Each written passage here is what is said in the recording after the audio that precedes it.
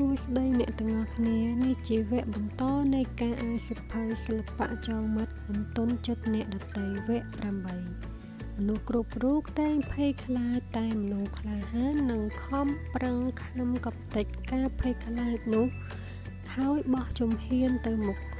សំបីតែពេលខ្លះវាអាចជាការដើរទៅរកស្ដីស្លាប់តែវាជាការដើរទៅរកជ័យជំនះជានិច្ច មានការប្រកួតប្រជែងអ្វីមានទំហំធំធេងជាងការប្រកួតប្រជែងយកឈ្នះការភ័យខ្លាចនេះទេបុគ្គលិកសម្រាប់ជោគជ័យទាំងឡាយចូលចិត្តខ្លាំងបំផុតគឺការប្រកួតប្រជែងថ្វីដីឱកាសបានបញ្ចេញគំនិត និងអារម្មណ៍របស់ខ្លួនឱកាសក្នុងការបញ្ចេញឲ្យឃើញថាគេជាបុគ្គលមានតម្លៃខ្លាំងជាងគេ ឈ្នះគេនោះគឺជាអ្វីដែលនាំឲ្យកើតមានការរត់ប្រណាំងការប្រកួតប្រជែងផ្សេងផ្សេងរហូតដល់មានការប្រកួតប្រជែងញ៉ាំនំទៅទៀតអ្វីទាំងនេះគឺមកពីបំណងប្រាថ្នាចង់ក្លាយជាមនុស្សពូកែព្រមទាំងក្តីប្រាថ្នាចង់ក្លាយជាមនុស្សសំខាន់នេះឯងហេតុនេះបើលោកអ្នកចង់ពុះទាញអ្នកដតី បុគ្គលដែលអង្អាចក្លាហានបុគ្គលដែលមានសមត្ថភាពឲ្យយល់ស្របធ្វើតាមគំនិតរបស់អ្នកចូលប្រព្រឹត្តតាមគោលការណ៍នេះចុះចូលបំផុសឲ្យមានការប្រកួតប្រជែងរបស់សមត្ថភាពផ្នែកទី4មានភាពជាអ្នកដឹកនាំវិធីសាស្ត្រផ្លាស់ប្ដូរអ្នកដតីដោយមិនធ្វើឲ្យគេអាក់អន់ចិត្តឬខឹងសម្បា ចំពោះ1បើចាំបាច់ត្រូវចាប់កំហុសតើគួរចាប់ផ្ដើមដោយម្ដេចចិត្តសាស្ត្រមួយដ៏កំពូលព្រោះការបានស្ដាប់ឮរឿងមិនសូវពីរោះបន្ទាប់ពីបានឮពាក្យសរសើរលើចំណុចល្អជាមុនវាតែងតែធ្វើឲ្យងាយស្រួលជានិច្ចចូលចាប់ផ្ដើមដោយការលើសរសើរប្រៀបដូចជាពេទ្យថ្មិញដែលត្រូវប្រើថ្នាំស្ពឹកជាមុន មុននឹងរកថ្មិញដូច្នោះដែរចូលចាប់ផ្ដើមសន្ទនាដោយពាក្យលើសរសើរនិងការផ្ដល់គុណតម្លៃដោយសត្វចិត្តចំពោះ2តើត្រូវរិះគន់ដូចម្ដេចដើម្បីកុំឲ្យគេស្អប់គ្រាន់តែបដូរពាក្យមួយម៉ាត់ក៏អាចធ្វើឲ្យមានភាពខុសគ្នារវាងបរាជ័យនិងជោគជ័យក្នុងការផ្លាស់ប្ដូរមនុស្សដោយមិនបណ្ដាលឲ្យមានការអអន់ចិត្តឬខឹងសម្បា មនុស្សជាច្រើនតែចាប់ផ្ដើមការរិះគន់របស់ខ្លួនដោយប្រើវិធីលើសរសើរយ៉ាងសត្វចិត្តហើយបន្តដោយពាក្យប៉ុន្តែរួចបញ្ចប់ដោយពាក្យរិះគន់ឧទាហរណ៍ដូចជាការព្យាយាមផ្លាស់ប្ដូរអេរយាប័តមិនយកចិត្តទុកដាក់រៀនសូត្ររបស់កូនយើងអាចនិយាយបានថា ចានីប៉ាពេញចិត្តនឹងកូនខ្លាំងណាស់ដែលកូនរកពិន្ទុបន្ថែមបានក្នុងត្រីមាសក្រោយនេះប៉ុន្តែបើកូនខំរៀនពីពេជ្រគណិតឲ្យខ្លាំងបន្តិចបន្ថែមទៀតលទ្ធផលប្រឡងប្រកាសជាបានប្រសើរជាងនេះជាមិនខានក្នុងករណីនេះចានីអាចទទួលអារម្មណ៍ល្អរហូតដល់បានលើពាក្យប៉ុន្តែ ដែលធ្វើឲ្យគេចាប់ផ្ដើម មិនអស់ចិត្តនឹងពាក្យសរសើរពីដំបូងសម្រាប់គេពាក្យសរសើរហាក់ដូចជាគ្រាន់តែជាឧបាយកលម្យ៉ាងនៃការឈានទៅរកការសរុបរិះគន់ពីបរាជ័យប៉ុណ្ណោះនោះសម្ដីរបស់យើងនឹងទទួលបានទំនុកចិត្តកាន់តែតិចហើយប្រហែលជាមិនអាចសម្រេចគោលដៅក្នុងការផ្លាស់ប្ដូរអេរិយាបថរបស់ចានីទៅលើការសិក្សារបស់គេនោះទេ ដោយការបដូរពីពាក្យប៉ុន្តែ ជំនួសដោយពាក្យហើយនោះវានឹងអាចធ្វើឲ្យយើងកែប្រែសម្រួលរឿងនេះបានដោយងាយចានីប៉ាពេញចិត្តនឹងកូនខ្លាំងណាស់ដែលកូនរកពិន្ទុបន្ថែម បានក្នុងត្រីមាសក្រោយនេះហើយប្រសិនបើកូនខំបន្តការប្រឹងប្រែងបែបនេះ នៅឆមាសខាងមុខទៀតពិន្ទុពេជ្រគណិតរបស់កូន មុខជាបានល្អដោយមុខវិជ្ជាផ្សេងផ្សេងទៀតមិនខានពេលនេះចានីអាចទទួលយកពាក្យសរសើរនោះព្រោះវាមិនបានបញ្ជាក់ឲ្យឃើញពីបរាជ័យនៅខាងក្រោយនោះទេ គឺយើងបង្ហាញឲ្យគេឃើញពីអេយ៉ាបតដែលផ្លាស់ប្ដូរបែបប្រយោលហើយពុំមានហើយពុំណូថាគេនឹងខំប្រឹងប្រែង មិនធ្វើឲ្យយើងខកបំណងដោយសារគេទេ ការធ្វើឲ្យមនុស្សម្នាក់ម្នាក់មើលឃើញកំហុសរបស់ខ្លួនដោយប្រយោលនោះមានប្រសិទ្ធភាពអស្ចារ្យជាមនុស្សមានអារម្មណ៍ទន់ជ្រាយដែលពួកគេអាចនឹងឈឺចាប់បើសិនបើជួបនឹងការរិះគន់ត្រង់ត្រង់វិធីដ៏មានប្រសិទ្ធភាពក្នុងការកែលម្អកំហុសឆ្គងអ្នកដតី គឺចូលធ្វើឲ្យមនុស្សមើលឃើញកំហុសឆ្គងរបស់ខ្លួនដោយប្រយោលជំពូក3លើកឡើងពីកំហុសខ្លួនឯងជាមុន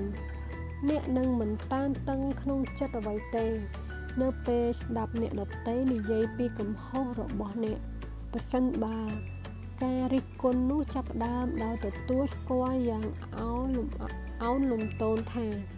គេក៏មានកំហុសឆ្គងដូចគ្នាដែរ ការទទួលស្គាល់កំហុសរបស់ខ្លួនទោះជាមិនទាន់បានដោះស្រាយបញ្ហានៅឡើយក៏ដោយ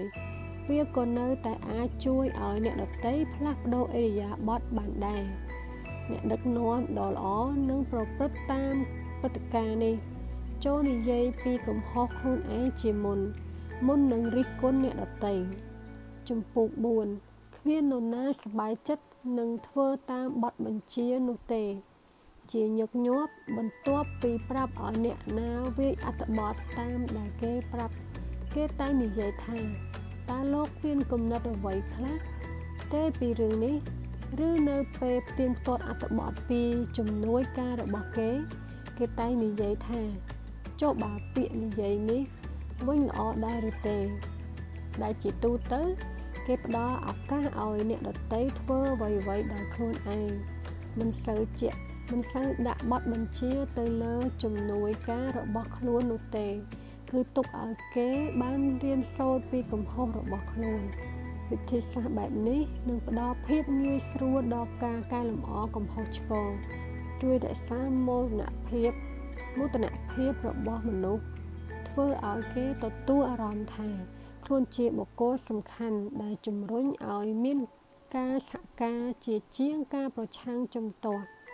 ការដាក់បទបញ្ជាយ៉ាងក្រអឺតក្រទមនឹងនាំឲ្យកើតមានភាពល្អក់កកក្នុងចិត្តនិងដែលអាចដកជាប់នៅយូរអង្វែងសូម្បីតែវាជាបទបញ្ជាដែលអាចដោះស្រាយបញ្ហាធ្ងន់ធ្ងរឲ្យឃើញយ៉ាងច្បាស់ក៏ដោយការលើកជាសំណួរមិនត្រឹមតែជួយឲ្យបទបញ្ជាងាយស្រួលទទួលយកប៉ុណ្ណោះទេតែជាញឹកញាប់វាជួយបំផុសឲ្យមានគំនិតថ្មីថ្មី ឡើងចំពោះបុគ្គលដែលអ្នកសួរអ្នកនឹងទទួលបានការទទួលបញ្ជាកាន់តែច្រើនប្រសិនបើផ្ដល់ឱកាសឲ្យពួកគេ មានចំណែកក្នុងការសម្រេចចិត្តអ្នកដឹកនាំដ៏មានប្រសិទ្ធភាព គេនឹងប្រើវិធីនេះ ចូលលើកជាសំណួរជំនួសឲ្យការដាក់បញ្ជាត្រង់ត្រង់ជំពូក5 ទុកមុខមាត់ឲ្យភាគីម្ខាងទៀតហើយអ្វីក៏ការទុកមុខមាត់ឲ្យមនុស្សត្រូវគេចាប់ទុកជារឿងសំខាន់ខ្លាំងម្ល៉េះហើយមានមនុស្សតែបន្តិចបន្តួចប៉ុណ្ណោះដែលយកពេលមកត្រេះរិះពិចារណារឿងនេះភាគច្រើនមនុស្សយើងមិនសូវយកចិត្តទុកដាក់ក្នុងការផ្ដល់តម្លៃដល់អារម្មណ៍អ្នកដទៃនោះទេ គេច្រើនតម្រូវតាមតែចិត្តខ្លួនឯងចាំចាប់កំហុសគំរាមកំហែង ស្ដីបន្ទោសរិះគន់ដាក់កូនឬបុគ្គលិកនៅចំពោះមុខអ្នកដទៃដោយមិនបានគិតទេថា ខ្លួនបានជន់ឈ្លីមោទនភាពរបស់អ្នកដទៃអ្វីឡើយទន្ទឹមនឹងត្រូវចំណាយពេល2-3នាទីសម្រាប់ត្រេះរិះប្រើពាក្យសម្ដីផ្ដល់កម្លាំងចិត្តតែមួយម៉ាត់ឬពីរម៉ាត់ស្វែងយល់ដល់ចិត្តគំនិតអ្នកដទៃថាវាវាបែបណាខ្លះ នោះវាក៏នឹងជួយកាត់បន្ថយការជន់ឈ្លីផ្លូវចិត្តបានល្អណាស់ទៅហើយអ្នកដឹកនាំដ៏ល្អពិតប្រកបនឹងប្រព្រឹត្តតាមគោលការណ៍នេះចូលផ្ដល់ឱកាសឲ្យភាគីម្ខាងទៀតបានរក្សាមុខមាត់គេផងជំពូក6វិធីជំរុញមនុស្សឲ្យឈានទៅរកជោគជ័យនៅពេលចង់កែប្រែមនុស្សហេតុអ្វីក៏យើងមិនប្រើវិធីតាម ភវិនិច្ឆ័យដូចគ្នានឹងការព្យាយាមបង្ហាត់បង្រៀនសខនហេតុអ្វីក៏យើងមិនប្រើសាច់ជំនួសការប្រើរំពោចហេតុអ្វីក៏យើងមិនប្រើពាក្យសរសើរជំនួសពាក្យស្ដីបន្ទោសតាមពិតបើសិនបើយើងលើកសរសើរទោះបីជាមានការប្រែល្អប្រសើរបន្តិចបន្តួចនោះវាក៏នឹងជំរុញភាគីម្ខាងទៀតព្រម បន្តការកែប្រែតទៅទៀតបានទៅហើយអ្នកចិត្តសាស្ត្របានផ្ដល់ទស្សនៈថា ការលើសរសើរប្រៀបដូចជាពន្លឺព្រះអាទិត្យដែលផ្ដល់ភាពកក់ក្ដៅដល់ស្មារតីមនុស្សយើងមិនអាចរិចលូតលាស់ដោយពុំមានវានោះទេទោះជាយ៉ាងណា នៅពេលមនុស្សភាកច្រើនត្រូវនិន្ទ្រារិះគន់អ្នកដតីយ៉ាងត្រជាក់ល្ហឹម ប្រៀបដូចជាខ្យល់ខែរងាហេតុអ្វីក៏យើងកំណាញ់ពាក្យសរសើរដ៏កក់ក្ដៅប្រៀបដូចជាពន្លឺព្រះអាទិត្យដែលផ្ដល់ឲ្យមនុស្សលោកយើងយ៉ាងនេះ ការប្រើពាក្យសរសើរជំនួសពាក្យបន្ទោសរិះគន់ជាការជាគោលការណ៍គ្រឹះស្ដីក្នុងការបង្រៀនចិត្តវិទូរូបសម័យដ៏ល្បីល្បាញនិងជាអ្នកបង្ហាញឲ្យឃើញតាមរយៈការពិសោធន៍ទៅលើមនុស្ស នៅសត្វដែលថា នៅពេលមានការកាត់បន្ថយការរិះគន់ឲ្យកាន់តែតិចហើយបង្កើតពាក្យសរសើរនោះ គឺជាការបង្កើតផ្នែកល្អដល់អ្នករងអំពើឲ្យមានការកាន់តែច្រើនហើយទន្ទឹមគ្នានេះផ្នែកមិនល្អក៏កាន់តែថយចុះព្រោះយើងមិនបានយកចិត្តទុកដាក់នឹងវាមនុស្សគ្រប់រូប ពេញចិត្តនឹងទទួលការសរសើរដោយប្រសិនបើការសរសើរនោះ បានតម្រង់ចំកន្លែងជាក់លាក់វានឹងធ្វើឲ្យការសរសើរនោះជាការសរសើរដោយសន្តិចិត្តពុំមែនជាការគ្រាន់តែនិយាយដើម្បីឲ្យភិក្ខុម្ខាងទៀតស្ដាប់ទៅបានសប្បាយចិត្តប៉ុណ្ណោះទេ សូមចងចាំថា យើងគ្រប់គ្នាស្រេកឃ្លានចង់ឲ្យគេដឹងពីគុណតម្លៃរបស់ខ្លួន និងមានការទទួលស្គាល់ហើយព្យាយាមធ្វើអ្វីៗគ្រប់យ៉ាង ដើម្បីឲ្យបានរបស់នេះតែគ្មាននរណាចង់បានការចង់បានភាពសិទ្ធសត្តចិត្តនិងការបញ្ជានោះទេគោលប្រតិបត្តិផ្សេងផ្សេងដែលបង្រៀនក្នុងសិភៅនេះនឹងមានប្រសិទ្ធភាពបានលុះត្រាតែអ្នកយកទៅអនុវត្តដោយសន្តិចិត្តប៉ុណ្ណោះ ខ្ញុំមិនគាំទ្រការប្រើល្បិចកលផ្សេងផ្សេងនោះទេ គឺខ្ញុំចង់និយាយពីមាគ៌ាថ្មីសម្រាប់ជីវិតនិយាយអំពីការកែប្រែមនុស្សបើយើងជំរុញឲ្យមនុស្សប្រស័យតាក់ទងគ្នាដោយគិតទៅលើរបស់មានតម្លៃដែលបង្កប់នៅក្នុងខ្លួនពួកគេ នោះយើងក៏នឹងអាចធ្វើបានហួសពីការកែប្រែមនុស្សទៅទៀតគឺយើងអាចកែ លម្អពួកគេបានពិតប្រាកដសក្តានុពលមួយដែលលោកអ្នកប្រហែលមិនបានយកទៅប្រើយ៉ាងពេញទំហឹងទំហឹងគឺការលើកសរសើរមនុស្សនិងការលើកទឹកចិត្តពួកគេដោយគិតទៅដល់សក្តានុពលដែលបង្កប់ក្នុងខ្លួនពួកគេនេះឯងសមត្ថភាពផ្សេងផ្សេងនឹងទៅជាក្រៀមស្វិតស្រពោនហើយការបន្ទោសរិះគន់ តែវាអាចរីកស្រស់បំប្រងញញឹមដោយការផ្ដល់កម្លាំងចិត្តដើម្បីក្លាយជាអ្នកដឹកនាំដែលកាន់តែមានប្រសិទ្ធភាពសូមយកគោលប្រតិបត្តិនេះទៅអនុវត្តចុះចូលលើសរសើរ